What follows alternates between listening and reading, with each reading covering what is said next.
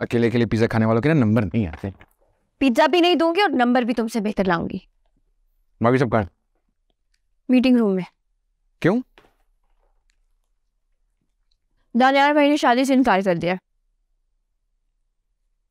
दानियाल भाई ने रोशना से शादी से इनकार कर दिया। और तुम यहाँ पिज्जा पे केचप डाल के खा रही हो। तो पिज्जा पे केचप नहीं तो क्या जैम डालते हैं? वैसे रोशना की बहुत बुरी हालत होगी ना अभी। हाँ लेकिन मैंने उसे कहा कि दफ़ा करो यार कोई ना कोई मिल जाएगा।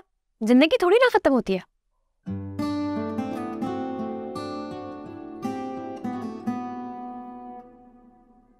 तुम तुम ऐसा सोचती हो?